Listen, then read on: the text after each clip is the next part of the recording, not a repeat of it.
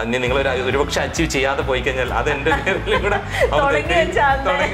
അപ്പൊ ഒരാൾ എന്റെ അടുത്ത് ഇങ്ങനെ ഒരു കമന്റ് പറഞ്ഞു ഞാനാണ് ആദ്യം എന്ന് പറഞ്ഞപ്പോ അത് നിനക്ക് ബാധ്യത പറഞ്ഞു. എന്ന് വെച്ചാൽ അവർ ഒരുപക്ഷെ അച്ചീവ് ചെയ്തില്ലെങ്കിൽ പറയും ഇവനാണ് ആദ്യം വന്നത് എന്നുള്ള ഒരു ബാധ്യതയും കൂടെ നിനക്കുണ്ട് എന്ന് പറഞ്ഞിരിക്കണം ഇല്ലാതെ വന്നത് ഇല്ല. അതിനും ഒരു ഫൈനൽ റിസൾട്ട് ഉണ്ടായി. ഞാൻ ഒരിക്കൽ ഇങ്ങനെ പറഞ്ഞ് ഒരിക്കൽ എന്താന്ന് വെച്ചാൽ ഇതുപോലെ തന്നെ ഒരു കടവും കടക്കണിയിലും പെട്ട് ആത്മഹത്യയുടെ വക്കീലെത്തിയ ഒരു കുടുംബം ആ ലേഡിക്ക് അവരുടെ മാനസിക ഇതുണ്ടല്ലോ.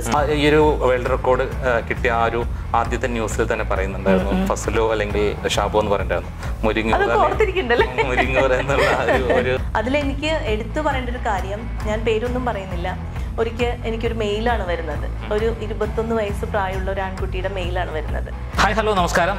ഞാൻ അരവിന്ദ് അരവിന്ദ് കൃഷ്ണൻ. എൻ ആർ എമ്മിയുടെ ഒരു പുതുപുത്തൻ ബ്രാൻഡ് ന്യൂ ചാറ്റ്സോൺ എപ്പിസോഡിലേക്ക് എല്ലാവർക്കും സ്വാഗതം. ഇന്നത്തെ ഗസ്റ്റിനെ കുറിച്ച് പറയുകയാണെങ്കിൽ ഒരു ജേർണലിസ്റ്റാണ് ആണ് ഒപ്പം തന്നെ ഗിന്നസ് വേൾഡ് റെക്കോർഡ് ഹോൾഡറാണ് അതിനേക്കാൾ ഉപരി മലയാളികൾ ഒരുപാട് സ്നേഹിച്ച radio active hit ninety six point seven F എമ്മിലെ റേഡിയോ ആക്റ്റീവ് എന്ന പ്രോഗ്രാമിലൂടെ ഭയങ്കരമായിട്ട് ജനമനസ്സുകളിൽ ഇടം നേടിയ Sindhu Biju. Sindhu welcome to N R M media chats thank you so much Aravind.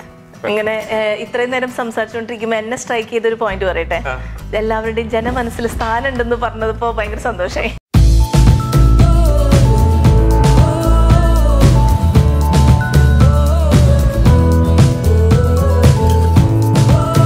ശരിക്കും തൃശ്ശൂർ ജില്ലയിലെ മുരിങ്ങൂരാണ്. അതെ ചാലക്കുടി. ആ മുരിങ്ങൂർ ചാലക്കുടി. അതായത് ചെറിയ കൊച്ചു കുട്ടിയായിരിക്കുമ്പോൾ മുരിങ്ങൂരിലും പിന്നെ കുറച്ച് വലുതായിപ്പോ ചാലക്കുടിയിലേക്ക് ചാലക്കുടിയിലേക്ക് ഷിഫ്റ്റ് ആക്കി ഒരു കൊച്ചു ഗ്രാമമാണ്? അതെ മുരിങ്ങൂർ ഭയങ്കര ചെറിയ ഗ്രാമമാണ്. ഞാൻ ഇപ്പോഴും വിചാരിക്കും.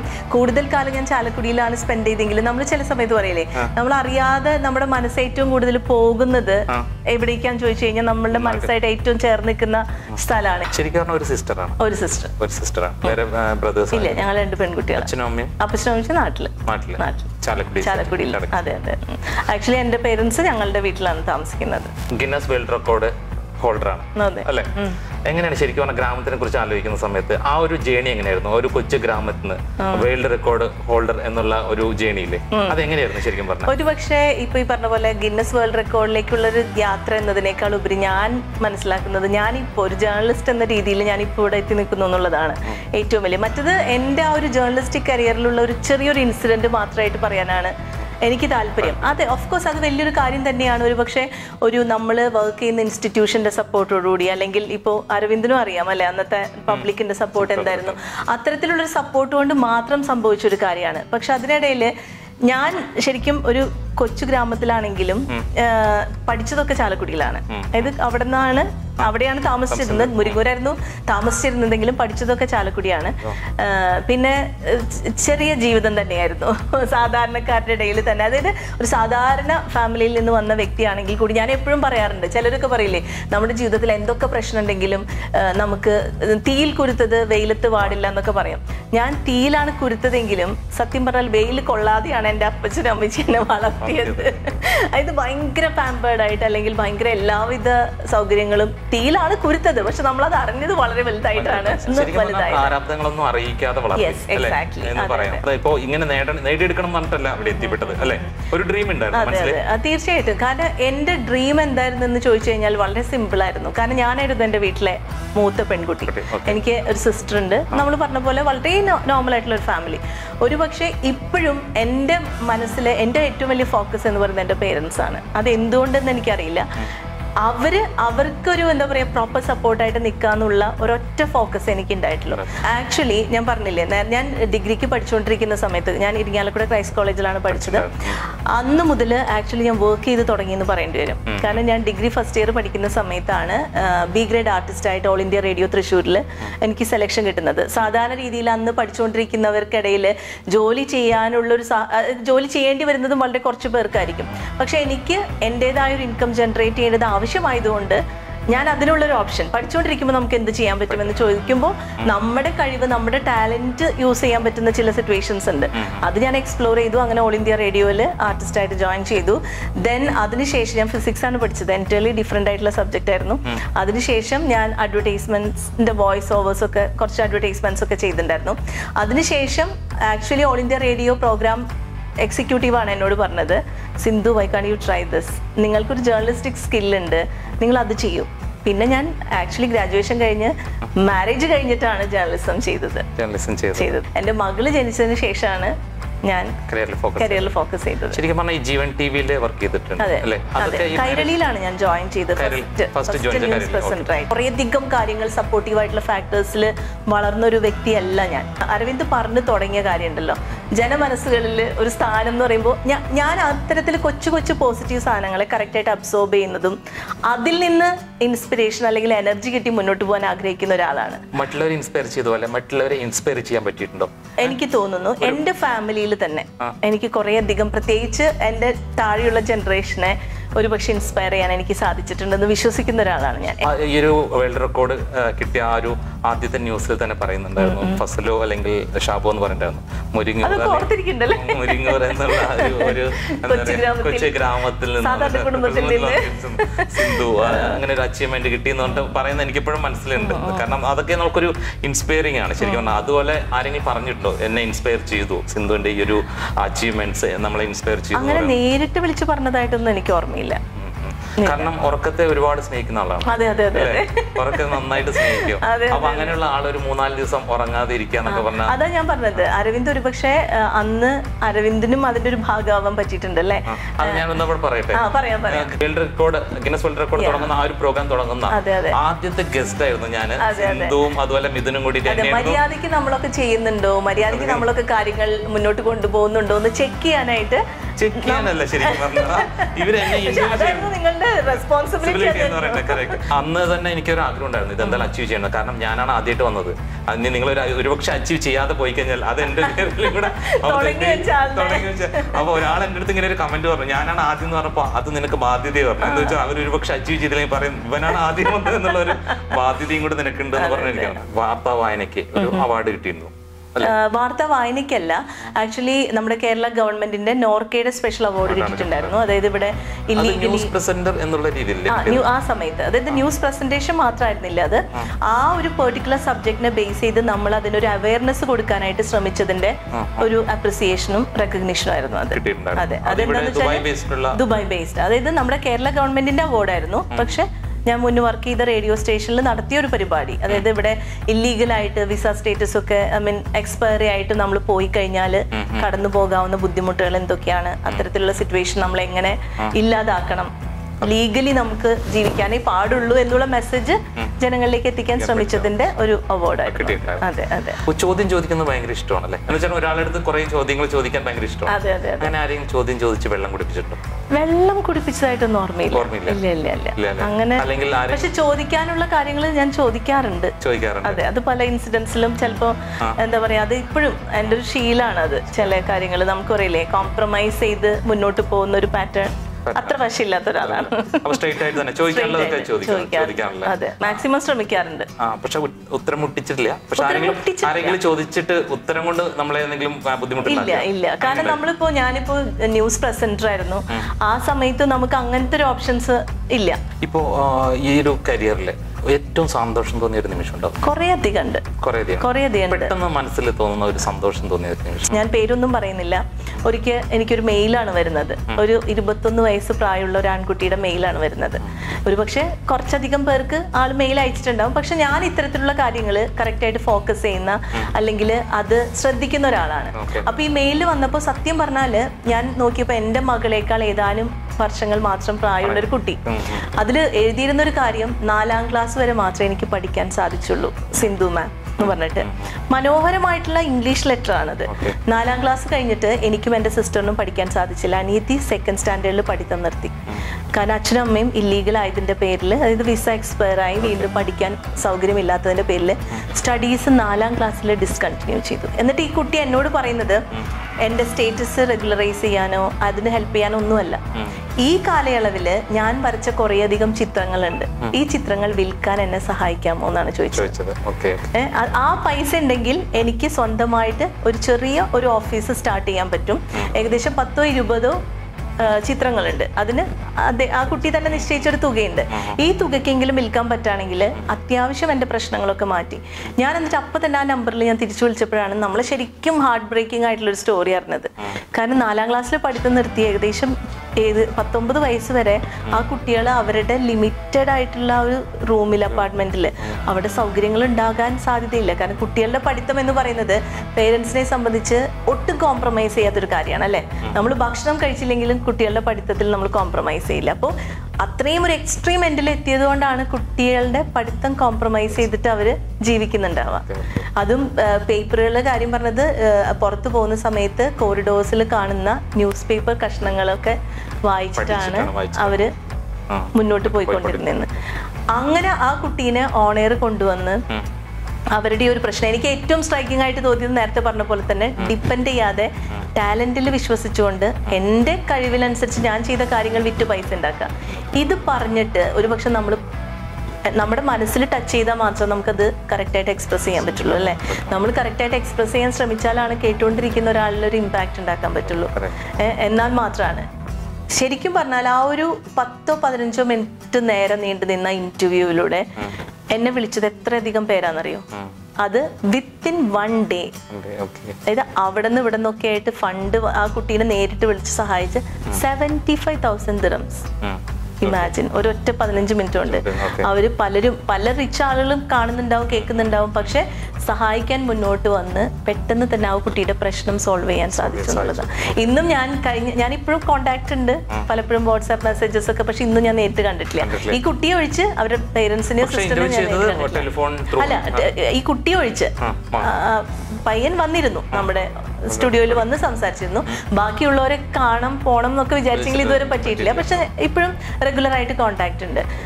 അവരുടെ ലൈഫ് മാറ്റാനായിട്ട് നമ്മളുടെ ഈ ഒരു ജോലി സഹായിച്ചു. അല്ലെങ്കിൽ ഈ ഒരു പൊസിഷൻ ഹെൽപ്പ് ചെയ്തു എന്ന് പറയുന്നതാണ് ലൈഫിൽ ഇതുപോലെ കുറെ അധികം ഇൻസിഡൻസ് ഉണ്ടായിട്ടുണ്ട് കേട്ടോ. കുറെ അധികം. ഇതിപ്പോ ഏറ്റവും നന്നായിട്ട് മനസ്സിൽ സ്പർശിച്ച ഒരു സംഭവമാണ്. അതെ അതെ അതെ. അതുപോലെ കുറെ കുറേ അധികം. ആണ് അതാ ഞാൻ പറഞ്ഞത്. നമ്മുടെ ഇപ്പോ പ്രവാസികളുടെ ഇടയിൽ ഒരു പ്രശ്നം വന്നു കഴിഞ്ഞാൽ ആദ്യം വിളിക്കേണ്ടത് റേഡിയോ മീഡിയയിലുള്ളവരെയാണ് അല്ലെങ്കിൽ ടെലിവിഷൻ ജേർണലിസ്റ്റുകളെ ആണ് എന്നുള്ള ഒരു ഒരു ആ ഒരു കണക്ഷൻ ഉണ്ടല്ലോ. അത് ഭയങ്കര ഇമ്പോർട്ടന്റ് ആയിട്ടുള്ള അവർക്ക് കാര്യമാണ്. ഇന്നാളെ വിളിച്ചു കഴിഞ്ഞാൽ ഇത് നടന്നിരിക്കും അവിടെയാണ് നമ്മളുടെ വിജയം. നമ്മൾ ആ കൊടുക്കുന്ന കോൺഫിഡൻസ് ആണ്. പക്ഷെ അതുപോലെ തന്നെ ഇപ്പോൾ അങ്ങനെ ഒരു സംഭവം നമുക്ക് ഹെൽപ്പ് ചെയ്യാൻ പറ്റാതെ എന്തെങ്കിലും നമുക്ക് ഭയങ്കരമായിട്ട് വിഷമം ഉണ്ടാക്കിയ എന്തെങ്കിലും സംഭവം അങ്ങനെ പെട്ടെന്നൊന്നും വരുന്നില്ല മനസ്സിൽ. അങ്ങനെ പറ്റാതെ ഇങ്ങനെ മാറി നിന്നതായിട്ട്. കാരണം ഒരു പരിധി വരെ നമുക്ക് നമ്മൾ എന്തായാലും അത് അറ്റൻഡ് ചെയ്യും. പക്ഷെ അങ്ങനെ അറ്റൻഡ് ചെയ്തിട്ട് നമ്മളുടെ കൺട്രോൾ അല്ല. ഇല്ലാതെ വന്നത് ഇല്ല. അതിനും ഒരു ഫൈനൽ റിസൾട്ട് ഉണ്ടായി. ഞാൻ ഒരിക്കൽ ഇങ്ങനെ പറഞ്ഞ് ഒരിക്കൽ എന്താന്ന് വെച്ചാൽ ഇതുപോലെ തന്നെ ഒരു കടവും കടക്കണിയിലും പെട്ട് ആത്മഹത്യയുടെ വക്കീലെത്തിയ ഒരു കുടുംബം ആ ലേഡിക്ക് അവരുടെ മാനസിക ഇതുണ്ടല്ലോ സ്റ്റെബിലിറ്റി നഷ്ടമായി കുട്ടികളെ ബാൽക്കണിയിൽ നിന്ന് എടുത്ത് എറിയാൻ പോയി. ഹസ്ബൻഡ് പിടിച്ച് എന്താ പറയാ ബാത്റൂമിലിട്ട് പൂട്ടിയതിന് ശേഷം ഞങ്ങൾ വിളിക്കുന്നത് എന്നെ വിളിക്കുന്നത്. അപ്പം നമ്മൾ സോഷ്യൽ മീഡിയ കുറച്ച് സോഷ്യൽ ആക്ടിവിസ്റ്റുകളും കുറെ സോഷ്യൽ വർക്കേഴ്സും ഒക്കെ ഉണ്ടല്ലോ. അവരുടെയൊക്കെ സഹായത്തോട് കൂടിയിട്ടാണ് ചെയ്യുന്നത്. പക്ഷെ അതിനൊരു റിസൾട്ട് ഉണ്ടായി. അവർ സേഫ് ആയിട്ട് തന്നെ അവരുടെ പാസ്പോർട്ട് ചെറിയ രീതിയിൽ നമുക്ക് ഇന്ത്യൻ കോൺസുലേറ്റ് ഒക്കെ ആയിട്ട് ഇടപെട്ട് ആളുടെ നിന്ന് വാങ്ങി സേഫ് ആയിട്ട് തന്നെ നാട്ടിലെത്തിക്കാൻ സാധിച്ചു. എന്നിട്ടും നാലഞ്ച് വർഷത്തോളം ആ ഒരു കോണ്ടാക്ട് മെയിന്റെയിൻ ചെയ്യാൻ പറ്റി. അവർക്ക് ഒരു ജോലി സംഘടിപ്പിച്ചു കൊടുക്കാൻ പറ്റി. അങ്ങനെ. അങ്ങനെ നോക്കുകയാണെങ്കിൽ ഒരു പരിധി വരെ. ഒരു പക്ഷെ അത്രയും അൺഅറ്റൈനബിൾ ആയിട്ടുള്ള ടാസ്ക് ഒന്നും കിട്ടിയിട്ടില്ല ചിലപ്പോ. ഒരു പരിധി വരെ ചില കാര്യങ്ങളൊക്കെ ചെയ്യാൻ പറ്റിയിട്ടുണ്ട്. പക്ഷെ മനസ്സിൽ എപ്പോഴും തോന്നിയൊരു വിഷമം ഉണ്ടാവില്ലേ ഇപ്പൊ ഒരു ഒരാളെ സഹായിക്കാൻ പറ്റാതെ വേറെ എന്തെങ്കിലും ഒരു ഇൻസിഡന്റ് ഒരു കരിയർ ബേസ്ഡ് ആയിട്ട്. നമുക്ക് മനസ്സിൽ എപ്പോഴും ഒരു ചെറിയൊരു പോറൽ പോലെ ഒരു വിഷമം പോലെ. എന്നാലും ഇങ്ങനെ ഒരു കരിയർ ഗ്രോത്ത് ഉണ്ടാവുന്ന സമയത്ത് ഡിഫറെന്റ് ആയിട്ട് എന്തെങ്കിലും ചെറിയ ചെറിയ ഇൻസിഡൻസും കുറെ വലിയ ഇൻസിഡൻസ് ഒക്കെ ഉണ്ടാവും അങ്ങനത്തെ വലിയ എന്റെ ഒരു സ്വഭാവം എന്താണെന്നറിയോ അരവിന്ദ്? സത്യം പറഞ്ഞാൽ ഇങ്ങനത്തെ വല്ലാതെ പെയിൻ ആയിട്ടുള്ളതൊക്കെ എന്നെ ബാധിക്കാതെ ഒന്നും പോകുന്നില്ല ബാധിക്കും. പക്ഷെ ഞാൻ സ്ലോലി മറക്കുന്ന ഒരാളാണ്?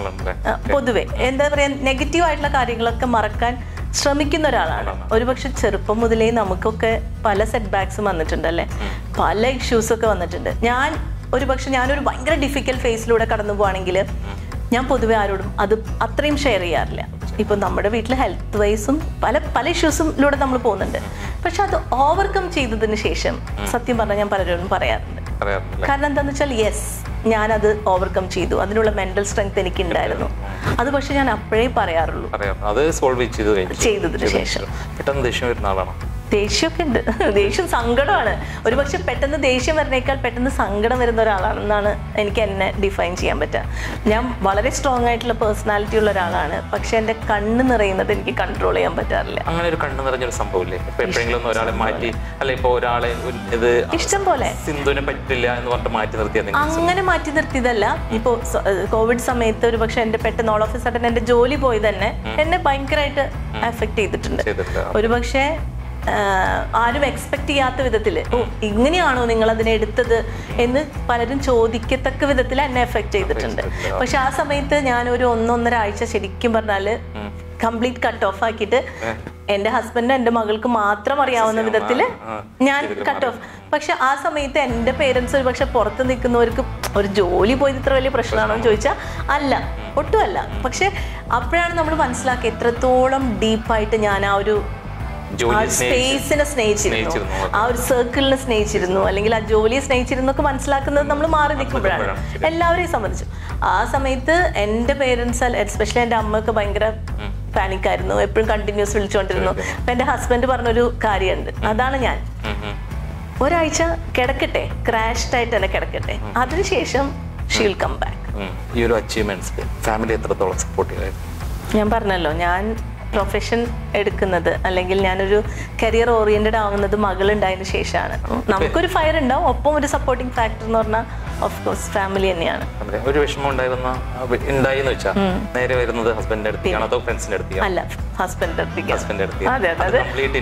ഓരോ മൊമെന്റും എനിക്കത് ഞാൻ പൊതുവെ ഇങ്ങനെ ഭയങ്കര പറഞ്ഞു പറയുന്ന ഒരാളല്ല. പക്ഷെ എന്റെ ലൈഫിൽ ഞങ്ങൾ രണ്ടുപേരും വളരെ ഡിഫറെന്റ് ആയിട്ടുള്ള ഒപ്പീനിയൻ ഡിഫറെന്റ് ഒപ്പീനിയൻ എന്നല്ല അവരുടേതായ ഒപ്പീനിയൻ ഉള്ള ആളാണ്. ആ ഒപ്പീനിയനിൽ രണ്ടുപേരും ഉറച്ചു നിൽക്കുന്നവരാണ്. പക്ഷെ എന്നാലും ഇറ്റ്സ് എ ബ്യൂട്ടിഫുൾ ലൈഫ് അതാണ് കൺക്ലൂഷൻ ലൈക്ക് അങ്ങോട്ടും ഇങ്ങോട്ടും അവരവരുടെ ഇൻട്രസ്റ്റ് എന്താണ്?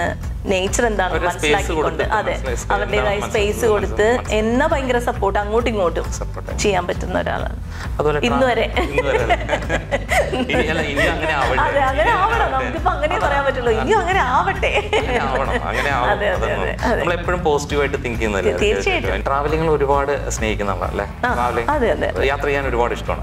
ഇന്ത്യയിൽ മാത്രമാണോ ഇന്ത്യയ്ക്ക് അല്ല എനിക്ക് ശരിക്കും പറഞ്ഞാൽ എന്റെ ജോലിയുടെ ഭാഗമായിട്ട് കുറെ സ്ഥലത്തേക്ക് ട്രാവൽ ചെയ്യാൻ അവസരം കിട്ടിയത് ഒഴിച്ചാൽ ഫാമിലി ആയിട്ടുള്ള യാത്രകൾ വളരെ കുറവായിട്ടുള്ളതാണ്. പക്ഷെ എന്നാലും ഒരു തുടങ്ങി വെച്ചതായിരുന്നു. എല്ലാം കോവിഡ് കൊണ്ടുപോയി. കാരണം കോവിഡിന് മുന്നത്തെ ഒരു മൂന്ന് വർഷം ഞങ്ങൾ ശരിക്കും പറഞ്ഞാൽ ഫാമിലി വിചാരിച്ചിരുന്നു നമുക്ക് എല്ലാവർക്കും ഫാമിലി ഒരുമിച്ച് ട്രാവൽ ചെയ്യണം. ഓരോ സ്ഥലത്തേക്ക് ട്രാവൽ ചെയ്യണം എന്നൊക്കെ വിചാരിച്ചപ്പോഴേക്കും കോവിഡ് അതെ. പക്ഷെ രണ്ടു വർഷം എക്സ്ക്യൂസ് അല്ലേ? അല്ല അല്ല രണ്ടു വർഷം പറ്റിട്ടോ? നമ്മൾ ശരിക്കും. ആ അത് അത് ഭയങ്കര ഒരു ഭയങ്കര ഒരു എന്താ പറയാ പോസിറ്റീവ് ആയിട്ടുള്ള ഒരു അറ്റ്മോസ്ഫിയർ ആയിരുന്നു. വേറെ എല്ലാത്തിൽ നിന്നും മാറി നിന്ന് ഞങ്ങൾ മൂന്നുപേര് മാത്രം. അല്ലെ? നമുക്ക് സംസാരിക്കാൻ ഇഷ്ടം പോലെ സമയം. ഇവൻ എന്റെ മോൾ എന്നോട് പറഞ്ഞത് ഓർമ്മയുണ്ട്. പ്രത്യേകിച്ച് ഞങ്ങൾ ജോർജിയ പോയ സമയത്ത് കുറേ ട്രാവൽ ചെയ്യണല്ലോ. ഓരോരോ സ്ഥലത്തേക്കൊക്കെ ഓരോ ദിവസം പ്ലാൻ ചെയ്യുന്ന സമയത്ത്. അപ്പോൾ ബസ്സിലിരുന്ന് ഞങ്ങൾ രണ്ടുപേരും ഇങ്ങനെ സംസാരിച്ചുകൊണ്ടിരിക്കുമ്പോൾ അമ്മ എന്ത് രസമാണ് ഇങ്ങനെ സംസാരിക്കാൻ? സമയം കിട്ടുന്നത് പല കാര്യങ്ങളും പറയാൻ സമയം കിട്ടുന്നു. അതൊരു എനിക്കപ്പോൾ ചില സമയത്ത് എനിക്ക് എപ്പോഴും ഗിൽറ്റ് ഉള്ളത് എന്താണെന്ന് വെച്ചാൽ ഒരു ഗിൽറ്റ് ഫീൽ ഉള്ളത്. ഒരു നല്ല അമ്മയായിരുന്നോ ഞാനെന്ന് ചോദിച്ചു കഴിഞ്ഞാൽ എനിക്ക് എപ്പോഴും ഒരു കൺഫ്യൂഷനാണ് ആയിരുന്നോ? കാരണം നമുക്ക് അത്രയും സമയം സ്പെൻഡ് ചെയ്യാൻ പറ്റിയിരുന്നു? മോൾക്ക് വേണ്ടി പഠിപ്പിക്കാൻ. സാറ്റിസ്ഫാക്ഷന്റെ ലെവലാണ് ശരിക്കും പലപ്പോഴും അത്രയും നല്ല അമ്മാവൻ പലർക്കും പറ്റിയിട്ടുണ്ടാവില്ല. പറ്റിയിട്ടുണ്ട്. ആ ഒരു കമ്പാരിസൺ നമ്മൾ ചെയ്യുന്നത് വേണമെങ്കിൽ ചെയ്യാം. അല്ല ഈ പറഞ്ഞ ചെയ്തു കഴിഞ്ഞാൽ നമുക്ക് ഫുൾ മാർക്ക് തരാൻ തോന്നില്ല. പക്ഷെ അവർക്ക് മനസ്സിലാവും. ഒരു അവരും അങ്ങനത്തെ ഒരു ഫേസിലൂടെ ഒക്കെ കടന്നു പോകുമ്പോൾ അവർക്ക് മനസ്സിലാവും. ഇങ്ങനെയൊക്കെ തന്നെ പറ്റുള്ളൂ. ഈ ഫാമിലിയും യാത്രയും കഴിഞ്ഞ പിന്നെ ഏറ്റവും കൂടുതൽ ഇഷ്ടപ്പെടുന്നത് ഞാനിങ്ങനെ മടി പിടിച്ചിരിക്കുന്ന ചിലതുണ്ട്. അതായത് ഞാൻ സിനിമ ഭയങ്കര ഫോക്കസ്ഡ് ആയിട്ട് കാണുന്ന ഒരാളല്ല. പക്ഷെ ഞങ്ങളുടെ ഫാമിലി ഞങ്ങളിപ്പോൾ മൂന്ന് പേർക്കിടയിൽ കൂടുതൽ സമയം സ്പെൻഡ് ചെയ്യുന്നത് ഇത്തരത്തിലുള്ള സീരീസ് കാണാനും സിനിമ കാണാനൊക്കെയാണ് കൂടുതലായിട്ടും റെസ്റ്റോറന്റിനെ ഡിപ്പെൻഡ് ചെയ്യാറുണ്ടോ? കുക്കിംഗ്. കുക്കിംഗ് എന്ന് പറഞ്ഞാൽ ഞാൻ കുക്ക് ചെയ്യുന്ന സമയത്ത് വളരെ പോസിറ്റീവായിട്ട് വളരെ സന്തോഷത്തോടു കൂടി കുക്ക് ചെയ്യുള്ളൂ. അതിനെ എന്നെ ഇൻസ്പയർ ചെയ്തത് ആക്ച്വലി എന്റെ ഹസ്ബൻഡിന്റെ അമ്മയാണ്. സിന്ധു ശരിക്കും പറഞ്ഞാൽ ജേർണലിസ്റ്റ് ആണ് അല്ലേ? ആയിട്ട് വർക്ക് ചെയ്തത് ശരിക്കും പറഞ്ഞാൽ ഏതാണ് ഏറ്റവും കൂടുതൽ ഇഷ്ടം? ജേർണലിസ്റ്റ് ജേർണലിസ്റ്റോണോ ആർജിയോ കംപ്ലീറ്റ്ലി ഡിഫറെന്റ് അല്ലേ? അതെ. പക്ഷേ എനിക്ക് തോന്നുന്നു എന്റെ ജേർണലിസ്റ്റിക് ബാക്ക്ഗ്രൗണ്ട് എനിക്ക് കുറേയധികം സഹായിച്ചിട്ടുണ്ട്. പല കാരണം ഒരു പ്രസന്ററിന് പല കാര്യങ്ങൾ അറിഞ്ഞിരിക്കുകയാണെങ്കിൽ ഓൺ എയർ സംസാരിക്കാനുള്ള കോൺഫിഡൻസും കൂടും. ഞാനിപ്പോൾ ഡെയിലി എന്തൊക്കെയാണ് ഡെവലപ്മെന്റ്സ് എന്തൊക്കെയാണ് അതൊക്കെ ഫോളോ ചെയ്യുന്ന ഒരാളാണ്. അപ്പോൾ അപ്പൊ നമുക്ക് സബ്ജക്ട്സും കുറേ ഉണ്ടല്ലോ സംസാരിക്കാനായിട്ട് നോക്കുകയാണെങ്കിൽ കാരണം ഞാനിപ്പോൾ വേൾഡ് വൈഡ് എന്തൊക്കെ ഡെവലപ്മെന്റ്സ് നടക്കുന്നു ഡെയിലി എന്തൊക്കെ സാധനങ്ങൾ എന്തൊക്കെയാണ് കാര്യങ്ങൾ എന്നുള്ളത് ഞാൻ correct ആയിട്ട് ഫോളോ ചെയ്യുന്ന ഒരാളാണ്. അപ്പൊ അത് ഒരു ആർ ജി ഒരു റേഡിയോ പ്രസന്റർ എന്ന രീതിയിൽ അതൊരു അഡ്വാന്റേജ് ആയിട്ടാണ് എനിക്ക് തോന്നുന്നത്. ഭയങ്കര അതെ അതെ ഭയങ്കര നമുക്ക് കുറച്ചുകൂടെ ഇൻഫോർമേറ്റീവ് ആയിട്ട് നമുക്ക് പറയാൻ പറ്റും. ശരിക്കും എന്നുള്ള പ്രൊഫഷൻ വിട്ടു. ശരിക്കും ജേർണലിസം ഉണ്ട് എന്നാ ശരിക്കും ചെയ്യുന്നത് ശരിക്കും. ഞാനിപ്പോ ഇത് ശരിക്കും പറഞ്ഞാൽ ഞാൻ പറഞ്ഞില്ലേ എന്റെ ഒരു ഡിഫിക്കൽ ഫേസിലൂടെയാണ് പോയിക്കൊണ്ടിരിക്കുന്നത്. ഇത് കഴിഞ്ഞ് ഞാൻ എന്തെങ്കിലും അച്ചീവ് ചെയ്ത് കഴിഞ്ഞാൽ ഈ ഡിഫിക്കൽ ഫേസിൽ ഓരോ ഘട്ടത്തിലും ഞാൻ എങ്ങനെയൊക്കെയാണ് പോയത് എന്നുള്ളത് ഞാൻ ഇൻ ഡീറ്റെയിൽ ആയിട്ട് പറയുന്നതായിരിക്കും. പക്ഷെ ഇപ്പൊ ഞാൻ ശരിക്കും പറഞ്ഞാൽ പക്ഷെ ഇങ്ങനൊരു എന്നെ പോലുള്ള ഒരു പബ്ലിക് ഫിഗറിന് അല്ലെങ്കിൽ ഒരു റേഡിയോ പ്രസന്റിന് പ്രത്യേകിച്ച് എല്ലാവരും അറിയുന്ന ഒരു ബ്രാൻഡിന്റെ ഭാഗമായിരുന്ന റേഡിയോ പ്രസന്റിന് ജോലി നഷ്ടമായാൽ ഇതായത് ഇപ്പൊ ഏകദേശം ഒരു വർഷം ആവും പോകുന്നു ഇന്ന് ഞാൻ ഒരു നോർത്ത് ഇന്ത്യൻ ഡോക്ടറെ കാണുന്നു അതായത് ഒരു ഹോസ്പിറ്റലിൽ പോകുന്ന സമയത്ത്. ഓഫ് കോഴ്സ് അവിടെ മലയാളി നഴ്സസ് ഉണ്ട്. എന്നെ അറിയാവുന്ന ഡോക്ടറാണ് അപ്പോഴും ഒരു വർഷം കഴിഞ്ഞു കേട്ടോ അപ്പോഴും എനിക്ക് കിട്ടുന്ന ചോദ്യം ഇതാണ്. എന്തുകൊണ്ട്? അതായത് അപ്പൊ മനസ്സിലായോ? അതായത് നമ്മൾ അറിയുന്ന മലയാളി പോപ്പുലേഷൻ മാത്രമല്ല ഒരുപക്ഷെ നമ്മളെ കുറിച്ച് കേട്ടിട്ടുള്ള മറ്റാളുകൾ പോലും ചോദിക്കുന്ന ഒരു ഇത് ഭയങ്കര ഡിഫിക്കൽട്ട് ആയിട്ടുള്ള ഒരു സംഭവമാണ് അല്ലേ ഒരുപക്ഷെ നമുക്കൊരു ഹ്യൂമിലിയേറ്റിംഗ് ഫീൽ. ഓഫ് കോഴ്സ് ഞാനും ഹ്യൂമൻ ബീങ് തന്നെയാണ് അല്ലേ? ആ ഒരു ഹ്യൂമിലിയേറ്റിംഗ് ഫീൽഡിലൂടെ തന്നെയാണ്. അപ്പോൾ ഡിഫിക്കൽ ഫേസ് ആണ്. പക്ഷെ ഞാൻ ഒരു പക്ഷെ ഞാൻ റിഡൻഡന്റ് ആയി അല്ലെങ്കിൽ ജോബ് കട്ടിലൂടെ ജോബ് ലോസ് ആയി എന്ന് പറഞ്ഞ് എന്നെ വിളിച്ച രണ്ട് പേര്. അതായത് ഞാൻ റേഡിയോയിലൂടെ തന്നെ അനൗൺസ് ചെയ്ത് ഒരു പക്ഷെ എന്റെ ലിസണർ ആയിരുന്ന രണ്ട് പേര് പിറ്റേ ദിവസം എന്നെ വിളിച്ചു. അതിൽ ഒന്ന് ഒരു അഡ്വർടൈസിങ് ഏജൻസിയാണ് ഒരു പക്ഷേ നമ്മൾ പറയില്ലേ നമ്മളൊരു ഒരു ഓർഗനൈസേഷന്റെ ഭാഗമാകുമ്പോൾ നമുക്കൊരു പവർ ഉണ്ട് നമുക്കൊരു അതിന്റെതായ ഒരു പൊസിഷൻ ഉണ്ട്. അതിൽ നിന്ന് മാറി നിൽക്കുമ്പോൾ ഇത് രണ്ടുമില്ല ആ സമയത്ത് നമ്മുടെ കൂടെ നിൽക്കുന്നവരാണ് നമ്മുടെ റിയൽ സുഹൃത്തുക്കൾ. എന്നുള്ളത്. അത് എല്ലാവർക്കും ആവാൻ പറ്റില്ല. അങ്ങനെ വിളിച്ച ഒരു അഡ്വർടൈസിങ് ഏജൻസിയുടെ കൂടെ ഞാൻ പാർട്ട് ടൈം വർക്ക് ചെയ്യുന്നുണ്ട്. ബി ടു ബി ആണ്. അത് ഒരു ഒരു ഇവന്റ് ബേസ്ഡ് ആയിട്ട് അല്ലെങ്കിൽ ഫോക്കസ്ഡ് ആയിട്ട് ചെയ്യുന്നു. അതോടൊപ്പം തന്നെ നമ്മുടെ ഇന്ത്യയിൽ നിന്നുള്ള ഭയങ്കര ഫേമസ് ആയിട്ടുള്ള ബ്രാൻഡാണ് ജഗ്വാർ ബാത്റൂം ആക്സസറീസ് അത് പ്രോജക്റ്റ് ഓറിയന്റഡ് ആയിട്ട്. എന്താ പറയാ? വലിയ പ്രോജക്ട്സ് ആണ്. അഹ് അതിന്റെ ഒക്കെ പ്രോജക്റ്റ് ഓറിയന്റഡ് ആയിട്ട് അവർക്കും വേണ്ടി വർക്ക് ചെയ്യുന്നുണ്ട്. ജേർണൽ ഒപ്പം തന്നെ ഞാൻ റിപ്പോർട്ട് ടെലിവിഷനിൽ ഞാൻ ജോയിൻ ചെയ്തതാണ്. അത് പിന്നെ കുറച്ച് പ്രശ്നം കാരണം ഈ പറഞ്ഞ പോലെ കോവിഡ് എല്ലായിടത്തും എഫക്റ്റഡ് ആവുന്നുണ്ടല്ലോ. അപ്പോൾ അതിന്റെ ഭാഗമായിട്ട് അവരുടെയും ആക്ടിവിറ്റീസ് കുറച്ചൊന്ന് ഫ്രീസ് ചെയ്തിരിക്കുകയാണ്. അപ്പോ ഇതിനിടയിൽ ഇത്രയും വർക്കിനിടയിൽ റിപ്പോർട്ട് ടെലിവിഷനിൽ ഞാൻ റിപ്പോർട്ടിങ് ചെയ്യുന്നുണ്ട്. അതെ. അപ്പോൾ ഭയങ്കര ഒട്ടും എന്താ പറയുക കണക്ട് ചെയ്യാൻ പറ്റാത്ത ഞാനല്ലാത്ത ഫീൽഡിൽ അതിൽ നിന്ന് ഞാൻ കുറേയധികം പേരായിട്ട് ഇന്ററാക്ട് ചെയ്യാൻ പറ്റുന്നു കുറേയധികം കാര്യങ്ങൾ പഠിക്കാൻ പറ്റുന്നു. എന്റയർലി ഡിഫറെന്റ് ആയിട്ടുള്ള കുറേയധികം കാര്യങ്ങളിൽ കുറച്ചും കൂടി മികച്ച സ്കില്ല് ഡെവലപ്പ് ചെയ്യാൻ പറ്റുന്നു. എൻ ആർ ഐ മീഡിയയിൽ നമ്മളടുത്ത് സിന്ധുവിന്റെ വിശേഷങ്ങൾ പങ്കുവച്ചതിന് വളരെ നന്ദിയുണ്ട്. ഓക്കെ ഫോർമൽ ആയിട്ടുള്ള ഒരു ഇതൊന്നല്ലോ വളരെ കാഷ്വൽ ആയിട്ട് നമ്മൾ സംസാരിച്ചു തീർത്തു അത്ര. കാരണം എനിക്ക് സിന്ധുവിനെ ശരിക്കും ഞാൻ അതാ പറഞ്ഞത് എനിക്ക് സിന്ധുവിനെ ശരിക്കും നേരിട്ട് അറിയാം. എന്ന് വെച്ചാൽ ഇപ്പോഴെനിക്ക് ഒരു എട്ട് എട്ട് വർഷത്തിന് ശേഷം കാണുകയാണ് ശരിക്കും പറഞ്ഞാൽ. അതിന് മുമ്പ് ഒരു രണ്ട് ഒന്ന് രണ്ട് വർഷം കണ്ടിന്യൂസ് ആയിട്ട് മൂന്നാൽ പ്രാവശ്യം കണ്ടിരുന്നു അപ്പൊ ആ ഒരു പരിചയം ഞാൻ പുതുക്കുകയാണ് ശരിക്കും. അല്ലേ? സന്തോഷം ശരിക്കും. അപ്പൊ ആ ഒരു പരിചയം പുതുക്കുകയാണ്. അപ്പൊ സിന്ധു നമ്മളോടൊപ്പം ഒരു കുറെ വിശേഷങ്ങളൊക്കെ പങ്കുവച്ചു. അപ്പൊ താങ്ക് യു സോ മച്ച് കാരണം കുറെ നാളായിട്ട് ആരോടും ചോദ്യം ചോദിക്കാനില്ലാതെ ആരും എന്നോടും ചോദ്യം ചോദിക്കാനില്ലാതെ ഞാൻ വ്യത്യസ്തമായിട്ടുള്ള ഒരു പാന്താവിലൂടെ എന്നൊക്കെ പറയില്ലേ സഞ്ചരിച്ചുകൊണ്ടിരിക്കാൻ വളരെ സിമ്പിൾ ആയിട്ട് പറയുകയാണെങ്കിൽ ബി യുവർ സെൽഫ്. നമ്മൾ നമ്മളോട് തന്നെ ഒരു സത്യസന്ധത കാണിക്കുക എന്നുള്ളതാണ്. അത് നമുക്ക് നൽകുന്ന കോൺഫിഡൻസ് ഭയങ്കര വലുതാണ്. ഏത് സ്ഥലത്തും എവിടെ പോയാലും നമുക്ക് നിവർന്ന് നിന്ന് സംസാരിക്കാൻ മുഖത്ത് നോക്കി സംസാരിക്കാനായിട്ട് നമുക്ക് പറ്റണമെങ്കിൽ നമ്മൾ നമ്മളോട് തന്നെ സത്യസന്ധമായിട്ട് അതായത് നമ്മൾ നമ്മളോട് തന്നെ സത്യസന്ധരായിരിക്കും. അത് മാത്രമേ ഉള്ളൂ. അത് തരുന്ന കോൺഫിഡൻസിൽ നമ്മുടെ കഴിവിൽ വിശ്വസിച്ച് മുന്നോട്ട് പോവാം. താങ്ക് യു സോ മച്ച് കുറച്ച് Thank ഈ ഒരു വാക്ക് മോട്ടിവേറ്റഡ് ആയിക്കോട്ടെ. താങ്ക് യു സോ മച്ച് അപ്പോൾ എന്തായാലും നിങ്ങൾക്ക് ഒരു എപ്പിസോഡ് ഇഷ്ടമായി എന്ന് വിചാരിക്കുന്നു. ഇഷ്ടപ്പെട്ട എന്താ ചെയ്യുക please like share and subscribe our channel this is Aravind signing off from N R I media chat zone